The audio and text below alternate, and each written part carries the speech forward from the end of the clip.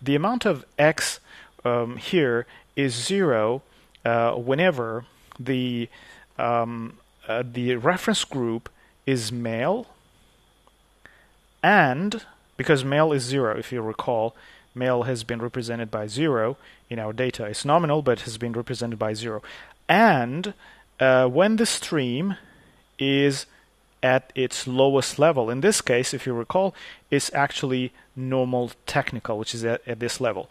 So uh, the intercept represents the mean of males in the uh, in the normal technical stream.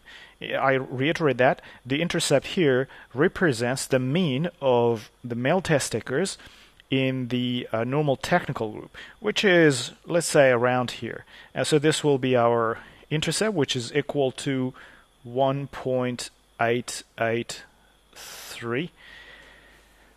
Actually, triple eight three, and that's the intercept of uh, this regression model with two independent variables which are categorical. Now, the other thing is, once we set the intercept or the uh, in other words, the reference group, or if you like, the uh, base category, it goes by different names. Um, n- now we take this out of the analysis, uh, the rest of the analysis, and we focus on the rest of the categories, as I explained in previous videos, and compare them with each other. Now, uh, this comparison is a bit uh, um, in a sense, uh, tricky, and there are some uh, nuances that we have to go through.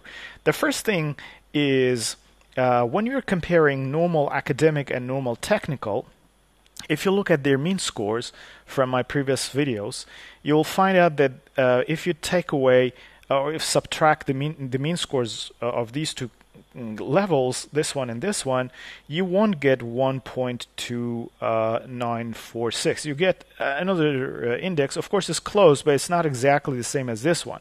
So how do we get this estimate, and where does it come from?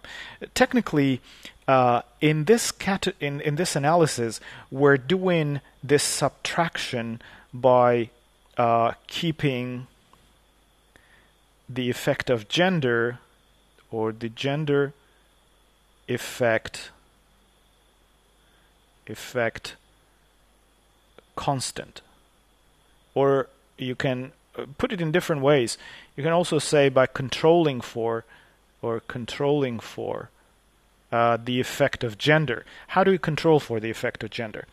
Uh, basically it's uh, it's in this uh, it's done in this way. First of all we want to um, look at the differences between the mean of normal academic and normal technical only and only for males.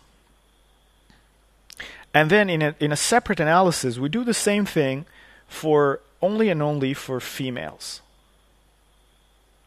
So we'll get two scores, in fact, two estimates.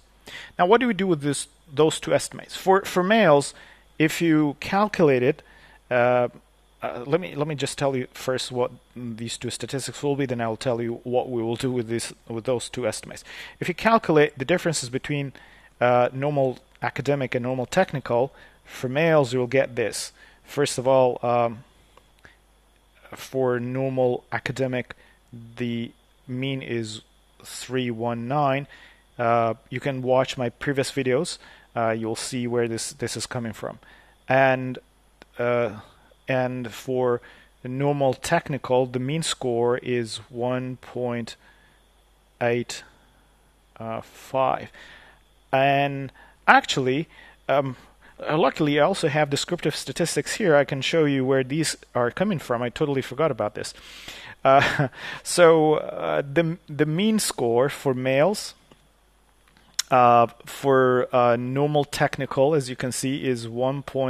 85. This is exactly what I did on the left hand side, right? And this one, the, the second one. Now, uh, the mean score for males in the normal academic group is 3119, which is uh, right here. So I subtract these two from each other, as you can see from this the formula right here, and the result will will be 1. 34. So this estimate is not really 1.34. That's very obvious. Now the second step will be to get the same uh, uh, analysis to do the same analysis, but this time around only on females. So let's do that. Uh, uh I quickly uh, put this down.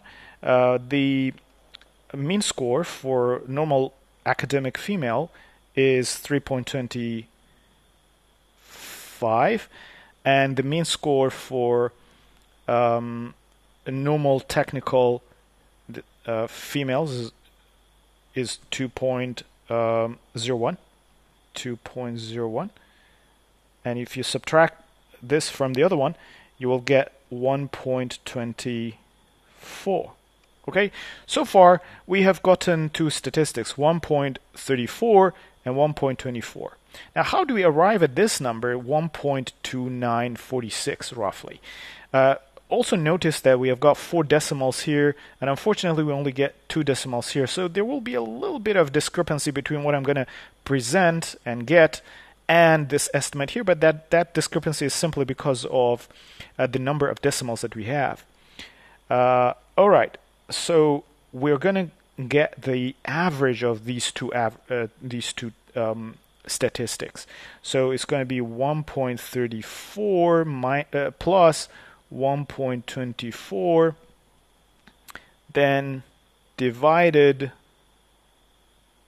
this is plus uh, divided by 2 which gives us roughly 1.29 alright so 1.29 is right here 1.2946 it has two additional decimal values there which is uh, uh, which is uh, because of the fact that the two analyses in Jamovi are using uh, uh different decimal values.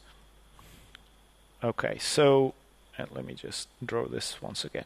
That's how this one is calculated. For Express and normal technical, uh, you can go through the same process. Um, I can quickly take you through it.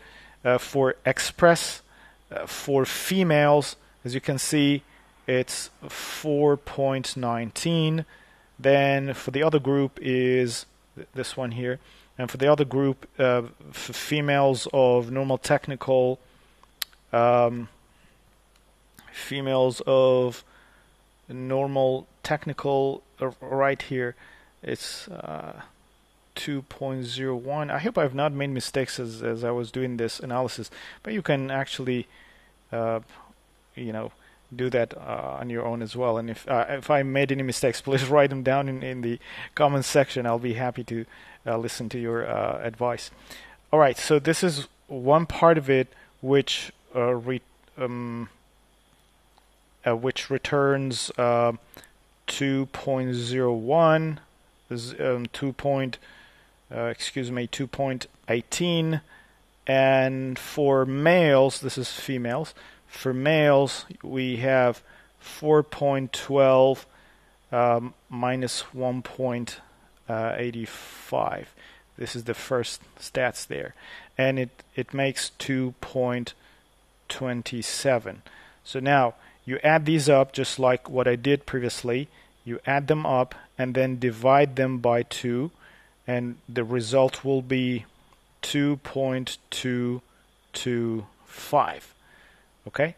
2.225 feel free to to do this analysis uh, in your free time. So 2.225 2.225 of course there's a 9 there which means that it has got four decimal values. And in the same way you can calculate the differences between males and females. And this time around you have to run three calculations. Males minus female females in for normal technical group males minus uh, female male uh, sorry female minus male for the normal academic and female minus male for the express add them up and divide them by 3 you should get something close to or exactly the same as this estimate right this is how these estimates are arrived at and and from the uh, previous videos of, of regression analysis, you would know that these are basically the slope, the slopes of these groups. They're the differences between them, and technically you can refer to them as the slopes. Now, are these uh, estimates or slopes significantly different or not? Well, yes, uh, quite a few of them are significantly different. The intercept is significantly different. We're comparing the intercept, let's, let me go back to this graph here, with 0 here and we're asking whether this intercept, which is 1.8883, is significantly different from zero. And in this case, the answer is yes, it's significantly different from zero because of the p-value as you see here. The second uh, p-value represents the statistical significance associated with this analysis, this uh, uh, which uh, which is represented by normal academic versus normal technical. This one is also statistically significant. So the first one is, the second one is, and the third one is also statistically significant. But gender doesn't have any impact on uh, the variance in uh, the comprehension or the compre, which is your dependent variable. And that's really all about this analysis. In uh, the following videos, I will incorporate additional variables, uh, definitely uh, one or two uh, continuous variables, and I will also um, also um, present uh, a regression analysis including uh, interaction effects between uh, gender and stream. So this brings me to the end of this video. Thank you very much for staying with me. Um, stay tuned and I will um, soon come back with another video. Have a great day. Goodbye you